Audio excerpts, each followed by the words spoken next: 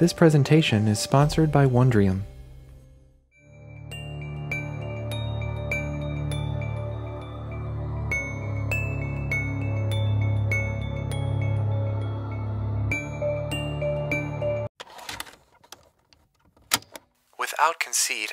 I regard it as self evident that my research has shone a scientific light into many dark corners once relegated to the domain of the supernatural. But despite the many avenues down which my research has led me, few can compare to the horrors I present to you today of the human body cruelly twisted into a canine form so animalistic it shocks the senses. Throughout history, tales and legends of dogmen appear in nearly every culture in the world, from the cursed Lycaon of ancient Greece to the widespread werewolves and cynocephaly of medieval Europe to the Rougarou of Cajun folklore, and even to the modern sightings of creatures such as the alleged Beast of Bray Road. What I present to you today, my valued listener, however unbelievable it may seem, is that each of these accounts is rooted in some level of truth, a primal fear seated deep in humanity's subconscious subconscious, and one that I believe can be traced to mankind's first contact with a devastating virus I have named the lycanthropic parvovirus.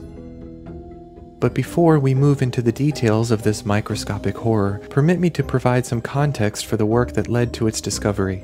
As I previously alluded, for decades my own research forged a path that may have never intersected with this particular virus. But then, nearly by chance, I met a brilliant biologist equally passionate and similarly motivated to uncover truths that mainstream academia refused to entertain. Sadly, though we were able to trade ideas for a time, the thread of fate that had pulled us together was tragically and very suddenly severed. This scientist, whose name, at least for now, will remain in anonymity lest her legacy be tarnished, was killed by the very organisms she studied. I found her in her home, her body rent in pieces. Even still, her research became the foundation of my own, though most was gleaned from the pages of the detailed journals she left behind. And though I am grateful for her notes and our brief time together, the findings that were her life's work have become a heavy burden. The light of science, at its core, is a wondrous form of systematic discovery. But I sometimes wonder if, perhaps, some things are best left in the dark. As you likely know by now, my own work has led to the momentous, though as yet largely unaccepted, discoveries of the human vampiric virus and the human zombic virus. Both appear to be members of Mononegavirales, and each, through a cascade of genetic alterations, transforms their hosts into violent killing machines, though in very different ways. But in terms of morphological restructuring, neither of these viruses can compare to the lycanthropic parvovirus, which eventually causes such drastic changes in its hosts that they can scarcely be recognized recognized as having once been human. At the risk of pressing your gracious allowance, I will now move on into the second part of my presentation, the virus itself. As the name indicates, LPV is classified in the family Parvoviridae. In general, parvoviruses are capable of infecting numerous species, though most people are familiar with the canine and feline strains, which cause severe and life-threatening diseases in wild animals and pets alike. In humans, parvoviruses are much less severe, frequently causing no symptoms whatsoever. What makes LPV unique is that it is zoonotic, easily transmitted to humans via the bite of an infected canine. Specifically, in nearly every case, it's the bite of a Canis lupus, a gray wolf, or one of its many subspecies. Indeed, this virus appears to be highly specialized, unable to infect or be carried by any organisms except for canines and primates. As a result, the most common victims of lycanthropy, or lycans as I call them, them are those whose profession brings them in frequent contact with wolves, such as hunters, trappers, and lumberjacks. Upon entering a host's bloodstream, rather than targeting a single type of tissue, the lycanthropic parvovirus proceeds to infect and, on some level, transform every living cell with a nucleus in the body. Most parvoviruses enter host cells by endocytosis, traveling to the nucleus where they wait until the cell enters its replication stage. Only then is the virus's genome uncoded and replicated, at which point the virus's messenger RNA is transcribed and translated. Eventually, mature virions exit the host cell via lysis, or destruction of the host cell. But the lycanthropic parvovirus appears to utilize a much stealthier method of reproduction. Rather than destroying the host cell, which the body could associate with inflammation, thereby alerting the immune system of its presence, the new virions bud from the host cell, leaving it intact, though altered. In this regard, LPV is perhaps more similar to human papillomavirus, which is a similar non-enveloped DNA virus that alters cellular genomes without destroying the cell itself. In fact, because LPV does appear to be a DNA virus rather than RNA as with the previously described HVV and HZV, no reverse transcription from RNA to DNA is necessary. Upon entering a cell, the viral DNA can immediately integrate itself into the host's chromosomes. In short, the changes that lycanthropic parvovirus makes to its host's cells are drastic and rapid. In my studies, I have observed that the onset of symptoms occurs at roughly 24 hours from the point of infection. These symptoms are somewhat generic hallmarks of an extreme immune response severe thirst, high fever, chills, and even itching, the latter of which is likely related to metabolic increase brought on by the virus. These are similar to the other diseases I have presented, but unlike HVV and HZV, the lycanthropic virus appears to have no need of a coma to facilitate the transformation of its host. By the 48 hour mark, the fever begins to dissipate and the other symptoms are drastically reduced. However, new symptoms rapidly begin to take their place. Extremely rapid hair growth becomes apparent, and the victim becomes increasingly violent. Communication with the victim becomes nearly impossible as their responses degrade into grunts, growls, and hisses. Attempts to restrain patients at this stage often result in self-harm and even more extreme aggression. Indeed, the victim will take great efforts to flee from the company of any humans, presumably to complete their transformation in a more secluded area. But now, I must warn you, even if you regard my previous work as truthful, the transformation that follows LPV infection is so radical, the contortions it places upon the body so disturbing that even in recounting it here, I scarcely believe it myself.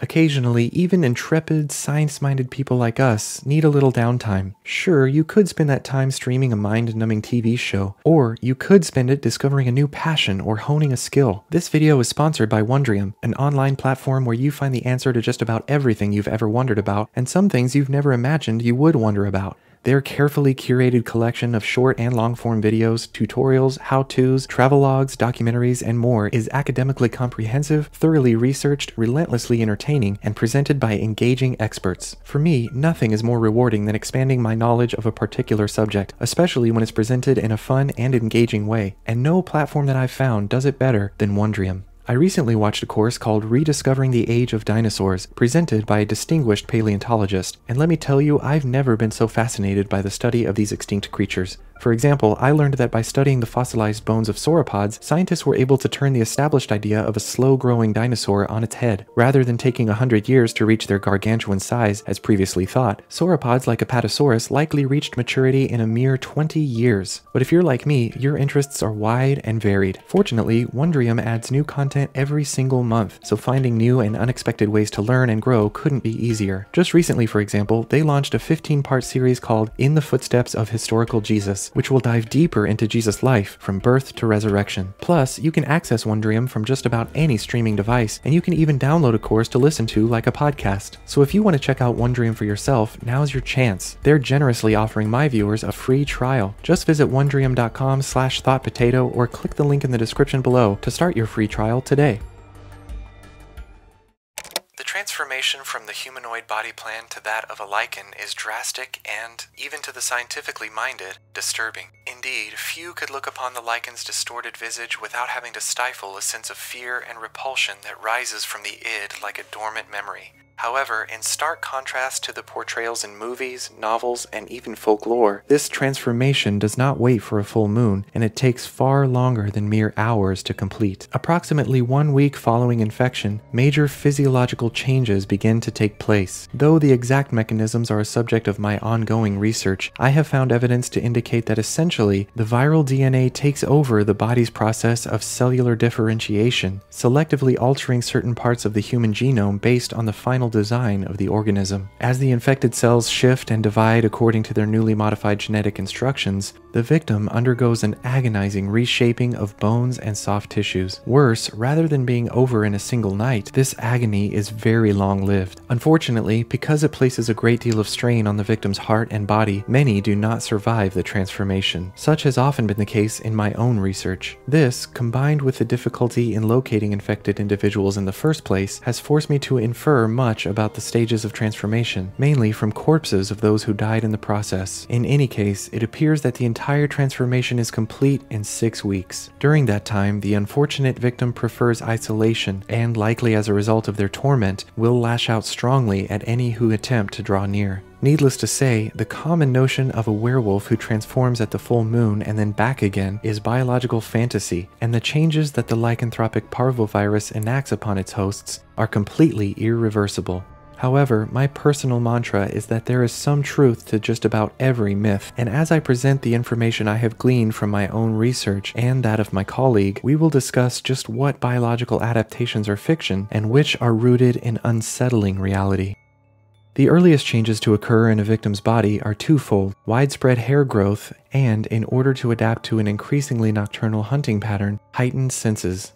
Of course, thick fur is a hallmark of the lycanthropic appearance, and this is one aspect of the legends that is very real. It appears that the virus may reactivate a certain gene that plays a role in embryonic hair growth but is normally dormant in adults, SOX3. Essentially, the result is generalized terminal hypertrichosis, a condition not without precedent in humans, though it is rare and not nearly as universal as what is triggered by LPV, and which causes the growth of terminal hair across parts of the body which are normally hairless, such as the nose nose, forehead, ears, back, etc. In fact, the only areas that remain hairless by the end of the lycan transformation are the palms of the hand and the soles of the feet.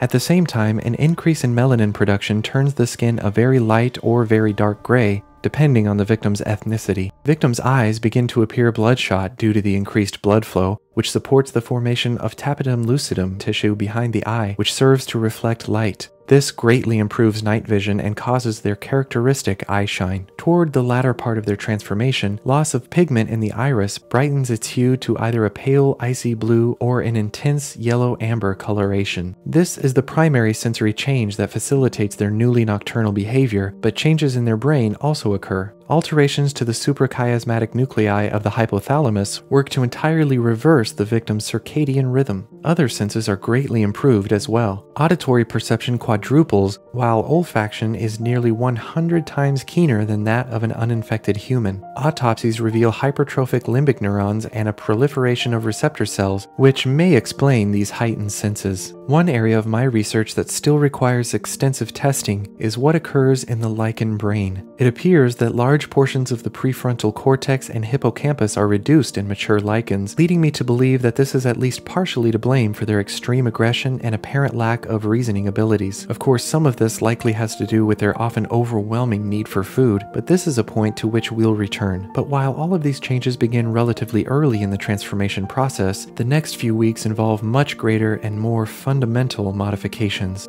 triggered by increased production of growth hormone from the pituitary gland and insulin like growth factor from the liver, unprecedented bone and muscle growth occurs throughout the body and, as a side effect, causes the skin to swell and bruise. In many major bones, such as those in the arms, legs, hands, and feet, hyaline cartilage cells in the epiphyseal plate, a zone normally dormant in adults, are reactivated. In these particular bones, cartilage cells called osteoclasts break down bone tissue by dissolving its mineralized matrix, a process known as bone resorption, while chondrocytes form new cartilage to replace the missing bone. Finally, fibroblasts strengthen the cartilage by reinforcing it with additional collagen. Once this process is complete, cartilage can once again stack inside the open growth plates and spread across the outside of the skeleton to form new bone tissue via osteoblasts, which replace old cartilage as it degenerates. But bone that grows in length alone could quickly become brittle, especially when the force of the victim's added muscles enact on it. To resolve this, most larger bones in the lycan's body also undergo appositional growth, which causes them to increase in diameter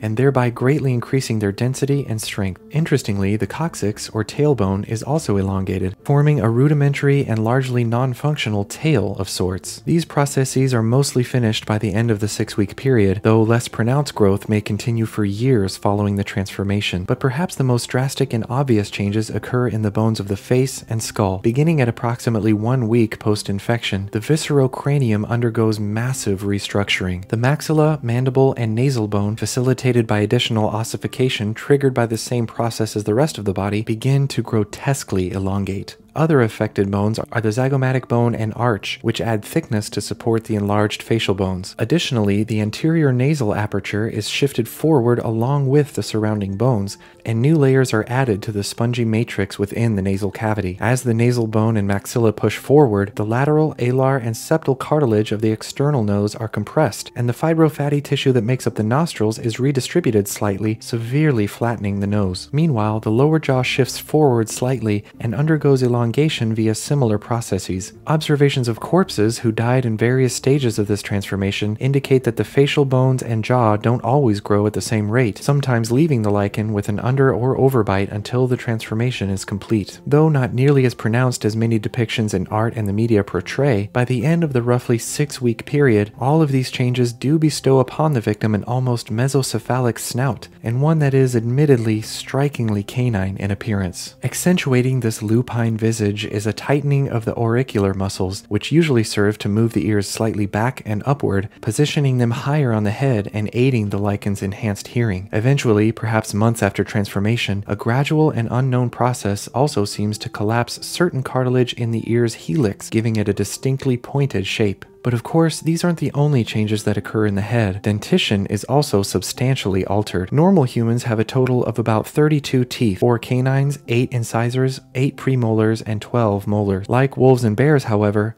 lycans have up to 42, 4 canines, 12 incisors, 16 premolars, and 10 molars. It also appears that a triggering of odontogenesis essentially causes a condition known as hyperdontia, which results in the growth of supplemental supernumerary teeth. As of this recording, I have yet to determine exactly how this happens, but my research suggests that these teeth develop from additional tooth buds that arise directly from the dental lamina, or perhaps split from the bud of the original tooth itself. In normal humans, hyperdontia would likely cause severe overcrowding, but because the lycan jaws also elongate, space is not an issue. Additionally, the canine teeth are substantially enlarged, as specialized ameloblasts travel through the narrow pores of the dentin and crown, and once they reach the surface, deposit additional enamel onto its tip. This is very similar to what occurs in vampire dentition, and with similar fang-like results. Finally, the chewing muscles of the jaw, namely the masseter, pterygoid, and temporal muscles, are greatly enlarged, which gives fully transformed lycans an immensely powerful bite force. I have yet to determine a controllable method to test just how powerful it is, but I will add these findings when they become available. But we cannot move on from the subject of lycan bone structure without discussing their hands and feet. During the mid to late part of their transformation, the victim's nails on both fingers and toes begin to loosen. Eventually, they will fall out entirely as the distal phalanx bones grow into hooked claws. These slowly erupt from the former nail beds as hard keratin forms around the new quicks. Though they are initially short and small, these claws can grow to over 6 inches in length. By the end of their transformation, the lycan hand is strikingly similar to the claw of a bear, and lycan's use of their thumb is similarly restricted,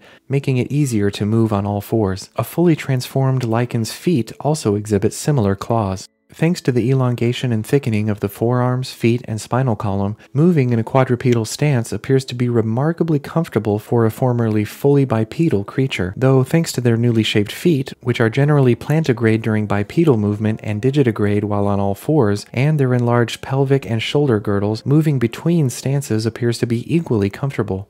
But comfortable is not a word anyone would use to describe the transformation process itself. It is likely immensely painful, like severe and pervasive growing pains sustained for weeks This pain is likely compounded by the numerous changes that occur in the internal organs. Though the digestive and cardiovascular symptoms remain largely unchanged, structurally speaking, most organs, including the heart, become greatly enlarged in order to cope with the lycan's increased body mass. In fact, the heart is so enlarged that fully transformed lycans experience a decreased resting heart rate of around 40 to 50 beats per minute, similar to that of a large bear. As such, the physiological reliance on this organ makes them much more vulnerable to chest injuries, especially since their ability to clot blood, heal injuries, and fight infection is not superior to humans and other mammals. The common conception that silver is more effective than any other kind of bullet is pure fiction. Older lycans also exhibit shorter digestive tracts, likely an adaptation to their diet, which leads directly to my next point. To fuel their increased muscle hypertrophy, the extreme alterations in skeletal composition, and their increased overall metabolism, infected individuals must consume copious amounts of food, and more specifically, protein. Though they prefer isolation a majority of the time, lycans are not picky when it comes to food sources. Indeed, any living thing in close proximity to a lycan is truly in mortal danger, and they will likely fall victim to these beasts' insatiable appetite.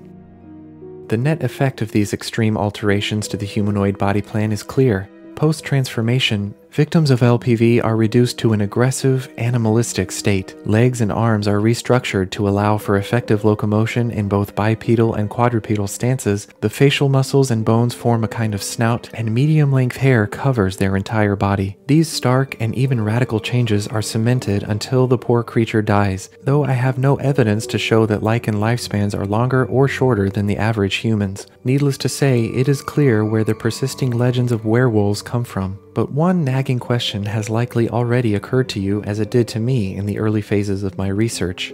Why would a virus induce a transformation that requires such a high biological cost? My hypothesis is simple. The virus itself likely originated in canines in the distant past, and through a process known as horizontal gene transfer, it likely assimilated so much of its host's genome that it has little choice but to express similar characteristics in any host it infects. It just so happens that primates are the only other mammals it's capable of infecting. Generally speaking, based on the discovery of dozens of well preserved fossils, records of which were provided by my deceased colleague, I believed that the first true lycans originated in in the forest heavy landmass of Eurasia, possibly after infecting and wiping out our Neanderthal cousins. As humanity progressed into the medieval era, we never lost the deep seated fear of our lycan predators. As a result, legends of distant lands populated by dog headed men persisted, as did the concept of the terrifying werewolf. Even today, these legends are ingrained in our culture. Many have thought of lycanthropy as a fictional metaphor for the duality of man, a personification of the ongoing struggle between the enlightened person and our basest instincts. But while these discussions may have merit, the reality is that lycans, werewolves, are very real. Some night, my dear listener, you may find yourself wandering through a lonely wood. You wouldn't see the attack coming, you miraculously survived it, you'd retain your wits long enough to see your skin grow fur, your limbs lengthen, and claws sprout from your fingertips. As the agony and madness overtakes you, prompted only by a lowly virus, metaphors and philosophies will not cross your mind. You'll be consumed by only one thought to kill. This video is a work of fiction. Portions of this video were inspired by the Federal Vampire and Zombie Agency website. Links can be found in the description. And as always, thanks for watching and remember, you matter.